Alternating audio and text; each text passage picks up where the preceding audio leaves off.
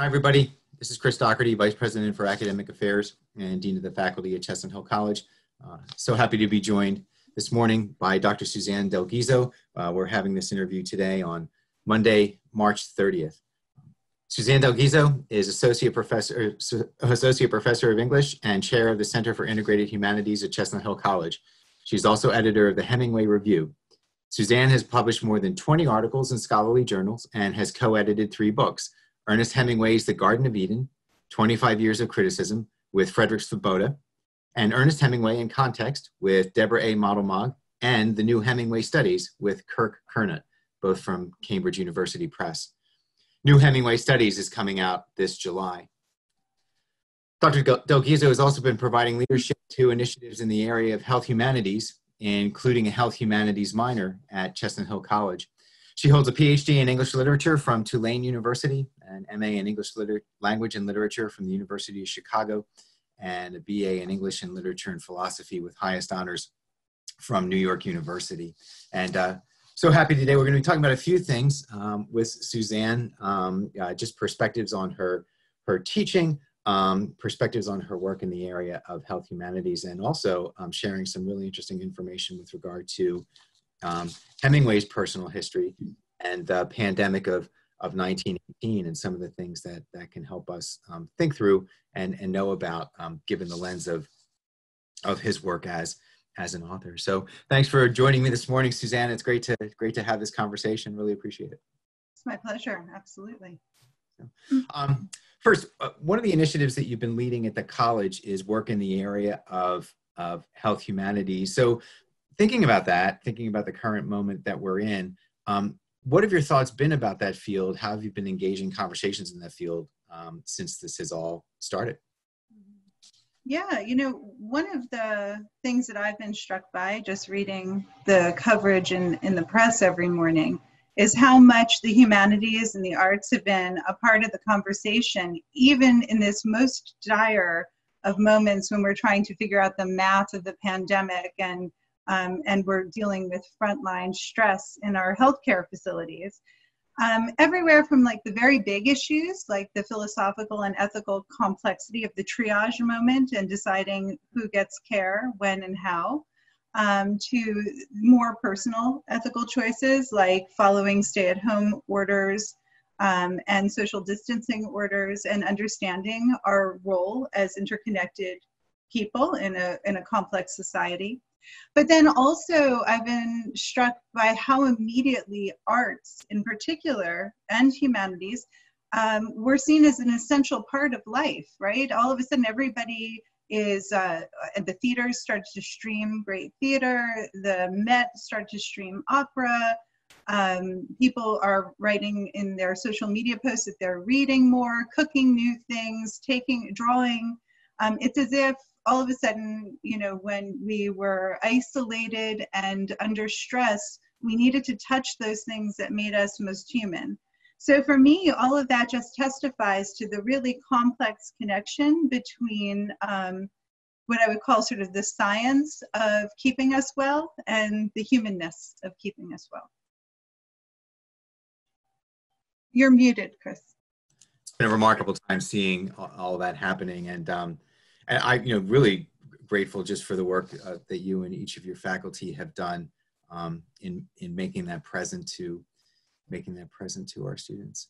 Um, so we've heard so many of the stories of the healthcare workers this month, what they've been asked to manage, um, what they've been asked to respond to. Um, you know, hearing those stories, what do those narratives tell us? Um, what, what are we learning from those narratives? So. Well, I think it's going to take us some time to really process the narratives. The way I see it is we're in this moment of incredible um, immediate stress, and we're looking for um, paths, human paths through that stress. And, and I believe that hearing each other and listening to our narratives allows us to do that. Um, so far, though, I think what we're hearing is, t- you know, our tales of incredible bravery. I was reading an article just this morning about the healthcare workers in New York and how at some hospitals half the staff are now stricken. Um, my father, who is a chief medical officer of a hospital in New Jersey, is in a high risk group. He's over 80 years old. He's showing up every single day to the hospital. Um, when I expressed concern for him because he was doing that, he said, This is what I do. You know, I'm a fireman. I run into the fire. You know, that's what he said. And I realized that they, he doesn't really have you know a choice and so whenever i think of how i'm finding it difficult to stay at home or you know not go out to dinner on a friday night i really think about my responsibility out of respect for what they're risking you know to do the small things that i can do but i think the real um, heartbreaking narratives. Uh, you know, doctors and nurses, I grew up in a medical family, as, as you know, um, they lose patients, and uh, that is to be expected, but not on this kind of scale. And so, even for people who are accustomed to loss and to death, this is going to be a hugely traumatizing experience. And also for patient survivors and families. And later on when we talk about the 1918 epidemic, we know from survivor stories there the deep trauma, both on the on the part of medical care workers, but also people who you know didn't know if they were infected and infected other people. Just all of the ways that we have to cope after a moment like this with our our connections. So I think you know some of the hard work of the humanities will happen after this immediate response. It'll be involved in archiving, um, capturing, creating the history, and also just handling the narratives of trauma. But I think you know what we are seeing is that there is a huge reset here um, in a variety of ways, where we have to understand our connection to each other and to our environment suddenly in a wholly new way. And humanities gives us a course and a path to to start to ask those questions. So see how that you know but i do think the majority of the of the heavy lifting on the part of humanities happens sort of after this initial wave. You know one of the things i'm mindful of is as um, i have these conversations with faculty is i always point out that the, the, the point in time at which we're having the conversation. So here we are monday march 30th we are coming off a weekend where some of the predictions that we're beginning to hear um, are sharing numbers that are a lot more scary in terms of what we mm-hmm. with regard to fatalities, um, what we're seeing in terms of changes in behavior, behavior um, recommendations now to go through the whole of April, um, continuing the social distancing. And I just, I do that to mark the moment of this conversation because I think, you know, it's just changing daily, weekly, and to, to think about your comments in terms of how we make sense of this. Um, mm-hmm. Well, Chris, just to, forward. if I may, you know, just to say, you you know that I was supposed to be attending um, a medical narrative conference in New York on April 17th, and it seemed absolutely absurd to me when it got canceled. I thought, why is this getting? that was about a week or a week and a half ago, and now New York is almost a no-go zone um, in, unless you were already there. It's it's you know ground zero for this for this pandemic in the United States. So it's changed so quickly. It's almost mind-boggling. Yeah, yeah. So so um, shifting your work as a as a Hemingway scholar um, and and thinking about how that informs your perspectives. I, I thought it was fascinating when you share with me your, your your thoughts about this conversation particularly the way in which it would function as a guest lecture for other courses at the, the college, um, and just everything about the flu pandemic of 1918, um, Ernest Hemingway's personal history, um, you know, his time in, in, the, in the war and how that all intersected. And, um, I, you know, I just thought it was a fascinating uh, perspective. C- can you just give us some context of what that that particular pandemic was like, what that flu was like, um, yeah. so that those of us who may not be as familiar with it can have a, a sense of what um, what that meant at the time and, and just what was happening at that time. Yeah.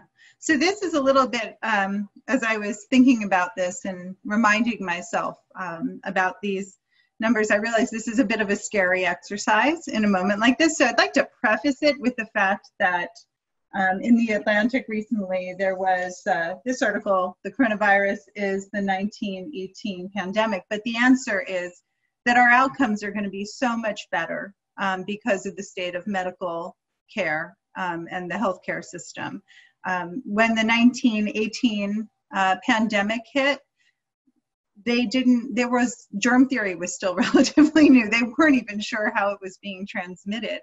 They had a sense of it as being in the atmosphere, which is not entirely incorrect, but the word influenza comes from the Italian word to influence. Um, because it was just felt like it was in the in the air around you. And interestingly enough, the word quarantine comes from the Italian quaranta, which is um, 40 days that sailors coming to Venice would have to be quarantined on an island right off of Venice um, during the bubonic plague.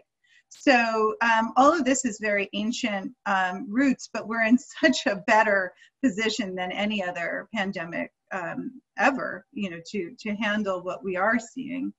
But um, yeah, the pandemic of 1918 struck in uh, three waves. And the first wave was uh, probably March to September of 1918. And although there's a lot of um, speculation or lack of certainty about where the, the um, influenza began, uh, one theory, and it's one that I'll explore with you in detail because of Hemingway's connection to it, was that it started in Camp Funston, Texas, uh, not sorry, Texas, Kansas, Camp Funston and Fort Riley, uh, Kansas, um, in the army barracks there. And that the American soldiers carried it, 1.5 million American soldiers uh, were moving into Europe to assist in uh, World War One. And they uh, likely brought the flu uh, to France and then throughout the rest of Europe um, and the, the deadliest wave of the flu came from August or September 1918 to early December. And in that moment of the flu, killed two thirds of all the people that would die in that flu. So it was a very intense few months. And then uh, the last wave went through the following spring, summer, um, and there were spot cases up until 1920. Um, but the flu killed a total of, and these estimates are huge, 50 to 100 million people worldwide. And again, two thirds of those people were killed in the 24 week period of September to early December. So the, the, the scale of loss of life was incredible. And to put it into perspective, um, it's more people than were killed in World War One and World War Two combined. So combat casualties in World War One were about 9.2 million. Uh, in World War Two, they're about 15.9 million. So this was an incredible loss of, of life. The other really striking thing, there are two other striking things about this flu. One is that it seemed somehow, for some reason, to disproportionately affect young people, ages 20 to 40. And so you can imagine the combination of the war, you know, just the young people being in tight quarters together, parades, rallies, uh, refugee movements. That was a particularly deadly mix uh, since this flu hit people ages 20 to 40. And the estimates are that it killed about 8 to 10% of people that age worldwide during the pandemic. Um, in the United States, the flu killed uh, between 500 and 675,000 people. So that was that's an incredible number. The other thing that is really striking about this particular flu, and it was a version they believe of H1N1, um, it was it was struck fast. So the other thing that was incredible is you could go from your first cough and or sneeze to death in in uh, 48 hours. And so it was very very fast. So yeah those that's a little bit of history um, about that flu. And i think if we think about the stay-at-home order and the social distancing orders that we have now it was exactly the opposite because it, it struck during a war where contact was kind of unavoidable so yeah, yeah. That's interesting too to see that reflected in some of the the, the history of Philadelphia, of our city, um, and um, and how um, Philadelphia at the time was was was was at one point an epicenter for for that. So um, here's Hemingway in a period of time, um, living this, experiencing it, writing about it. Um, share with us what we can learn about that phenomenon through his work and through what you know about him through your scholarship. Sure, yeah. So studying Hemingway, I always say it's it's it's sort of the oddest experience because he had a very big life. Um, you know, he was involved in almost every major event of the first half of the 20th century, and he knew all kinds of peoples from you know generals to bullfighters, newspapermen and artists, um, and hunters and fishermen. So he just lived a life that touched such a cross section, such a various array of of other lives and other experiences. Um, in this case, you know, he was born in 1899, so he was 19 when the um, when the pandemic hit, and he was living in Kansas City, Missouri, serving as a cub reporter for the Kansas City Star and uh, he was very itching to get into World War One, as a lot of young men were, um, thinking that war was glorious and that it was a test of manhood. And uh, he joined the Seventh um, Infantry of the Missouri National Guard. And you know, as I said earlier, one of the theories about where the flu started, where the pandemic started, was at Camp Funston in Kansas and Hemingway's unit would train there on Tuesday nights in the month of March, which is the month of the pandemic or the beginning of the pandemic. So it says he has a first kind of brush with it, but um, he decides to sign up for the Red Cross Ambulance Corps in um, April of 1918. And so he gets ready, prepares to leave in May. Um, and then he goes uh, in through France and into Italy, where he served in the Red Cross Ambulance Corps about six or seven weeks before the major troop movement of American soldiers went through. So, you know, if we imagine that, you know, there were reports even on the on the transit ships of soldiers being sick with flu. Um, that he was just about six weeks ahead of the flu in this in this model and then he was serving in the northern part of Italy when he was injured by a trench mortar shell um, in his legs. He had 227 wounds, and he was recovering from those wounds in the American Red Cross, the American hospital in Milan and that was when all of a sudden the flu started to move through the front lines the trenches and, and kill soldiers there. So he was always just a little bit um, ahead of the flu it seems. And then in um, 1918 when he was recovering from wounds he fell in love with his nurse agnes von Kurowsky who's an american and uh, he was in the hospital with her on the night of October 4th, 1918, when she lost her first patient to the flu, Lieutenant Coulter. And uh, it is very likely that Hemingway was in the room with her, helping her care for him. Um, we have some indications in his writing that that's true, but we don't know it for a fact. Uh, and he the flu that experience haunted him in his writing for a very uh, long time but we'll talk about the writing um, in a minute. I'll just go through the rest of the hemingway family. Back in oak park they were also being affected by the flu. Um, his, old, his older sister marcelline wrote to him in um, october or september of 1918 that mobs of people in oak park had it and she lost two dear friends to the flu and one um, fellow trainee. She was training to be a social worker at the Chicago Congregationalist um, Training Center for Social Workers, and she lost a fellow trainee there. She was helping flu patients, you know, masking up, helping to serve in whatever way she could. Um, his sister Ursula writes to him another sister, Ursula, writes to him in, I guess it's probably November, maybe a little earlier of 1918, that the boy she was going with, Bobby Hurst, who thought a lot of Ernest, had died of the flu. And even his youngest sister, Carol, who was about, I, I could be getting this wrong, but I think she was about seven or eight when the flu broke out. She wrote him a letter complaining about the fact that she was in quarantine and couldn't go out of the yard. so everybody uh, in the family was affected by it, but probably most notably would have been Hemingway's father, who was a doctor and um, who wrote to his son letters about um, having to help out with the flu, seeing patients all day.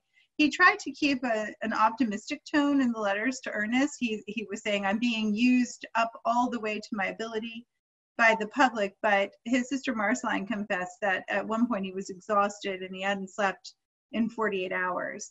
So the whole Hemingway family um, had some touch with it, but you know, it's amazing the immediate family, the Hemingway nuclear family, uh, wound up relatively unscathed but they had a very um, exotic and uh, fun aunt. Her name was Aunt Vada. Her name was Nevada Butler. She was a silver mining heiress.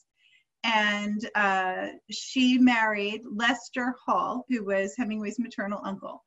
And she had just married Leicester uh, before he went off to war she went to meet the family for the first time in April of 1918, and they all fell in love with her. Everybody said she was enchanting and she loved theater and she had a pleasant, low speaking voice, and everybody just loved her and wanted them wanted her to stay with them. But she decided to go back to California, where she died of the flu, as Marcelline wrote, pathetically alone. Because and it was it, she died in October, and it was sort of made worse by the fact that Uncle Leicester had been missing in action in France from September 15th.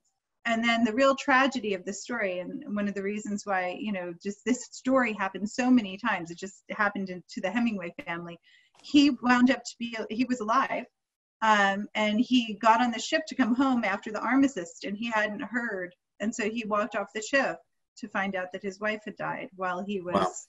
at war. Yeah, missing in action. And that's yeah. a story repeated many, many times. Yeah.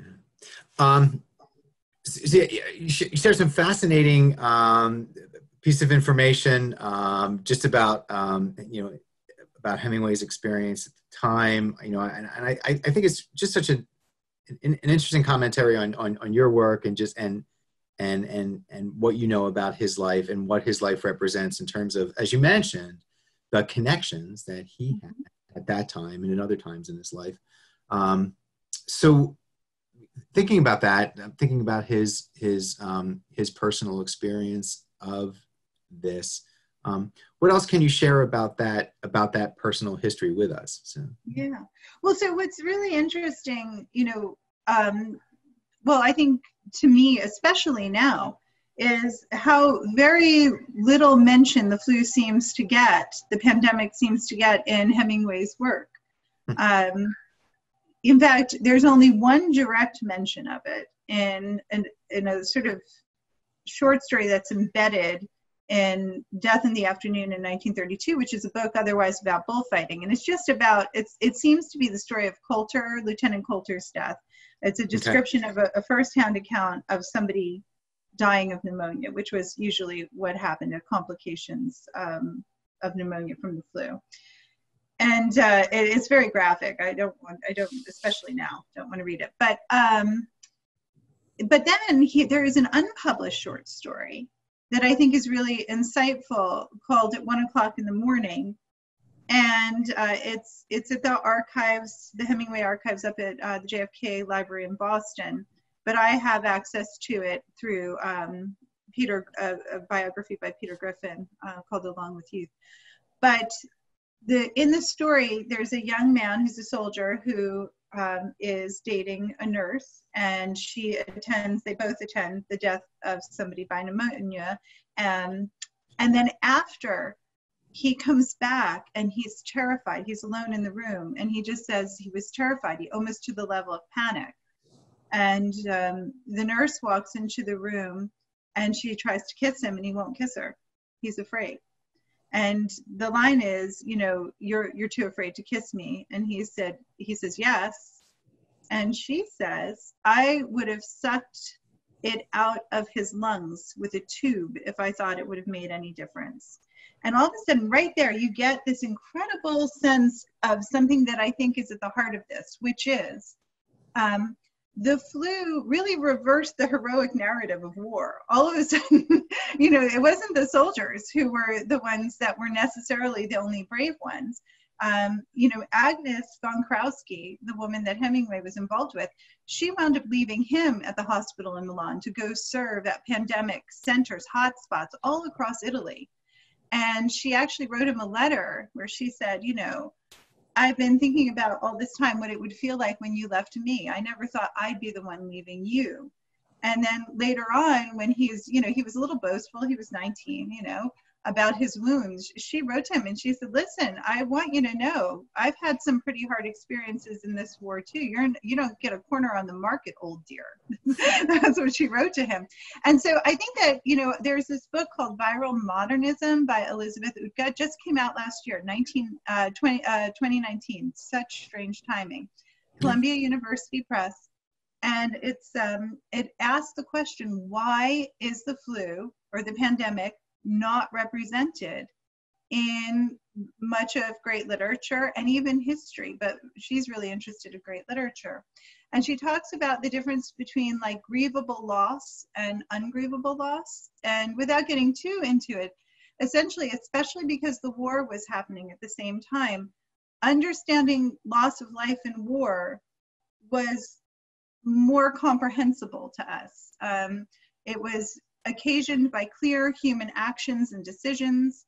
It allowed us, it was politically expedient because it allowed us to celebrate um, our sacrifices and it became a rallying point for patriotism. But the idea of a pandemic, which was in, you know, infecting people indiscriminately and globally was harder to to manage. Nobody knew how to register those losses in that moment. And it also wasn't, quite honestly, sounds cruel, but it wasn't politically expedient the way that celebrating war dead were. And there was only as there was only so much grieving that could happen in, in one space. So I thought that was a really interesting insight. And I think, you know, we see a resurgence in pandemic, the history, the study of the pandemic in history in uh, the early 2000s. And now with Outka's book in 2019, finally in literature. But um, it is curious the way that that pandemic was erased. And I'll just say one other thing there's two other cool resources. This is the kind of interesting work humanities can do. Richard Collier um, put out a call in 1970 uh, to, he put ads in newspapers all across Europe and all across um, the United States and encouraged flu survivors to share their stories with him. And at the um, Imperial War Museum in London, there's this incredible. You said this was 1970. This was 1970, yeah. Um, it, in the Imperial War Museum in London, there's this incredible Collier archive of firsthand accounts and memories of of uh, the pandemic that we otherwise would not even have, you know.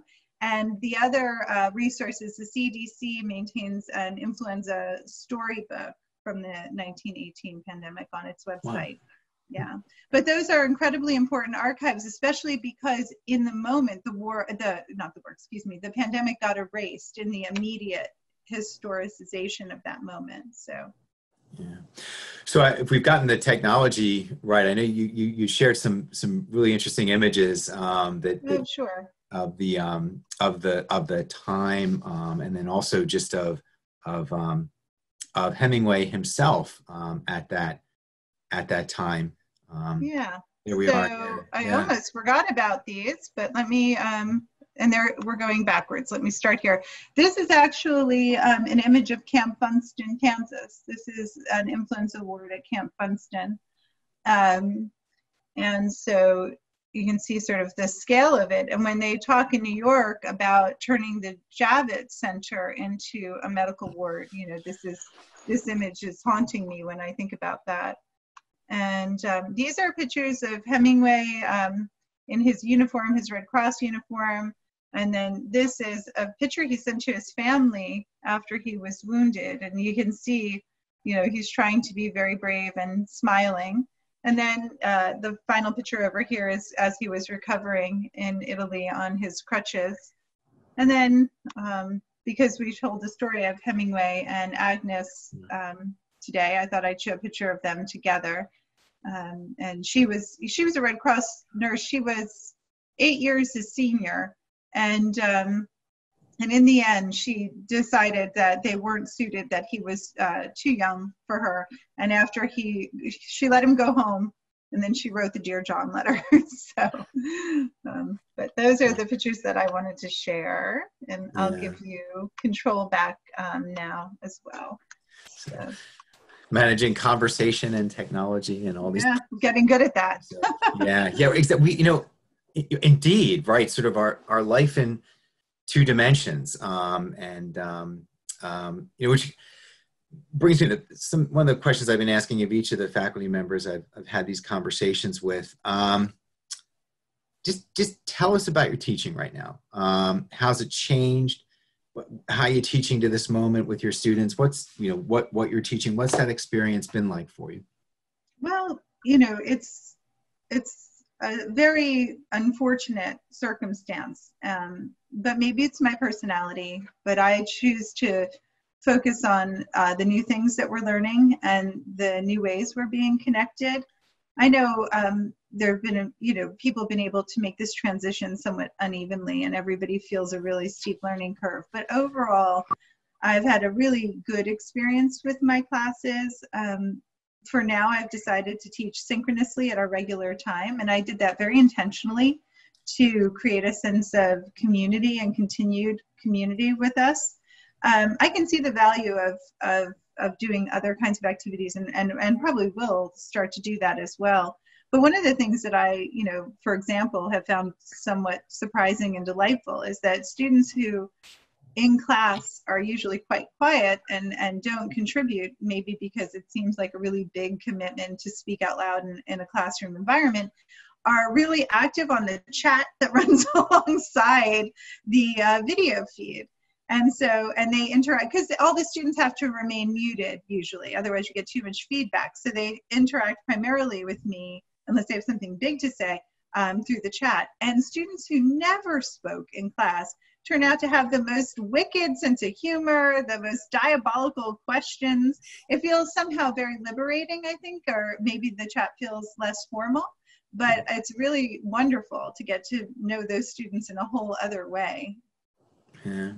I should mention too another place that you've appeared in addition to this conversation or in, in some of the help videos with regard to uh, conferencing or Microsoft Teams. And so um, uh, grateful for that as well. But I also think an interesting insight into sort of our presence um, to each other uh, is is changed by by this. And um, um, I think it's been terrific to see how um, you and other faculty have joined in supporting each other through this work and um, the the way those communities uh, can are, are, being cultivated in, in, in new ways and, and very very much based on the relationships that were formed on campus and now um, continue in this new in this new reality.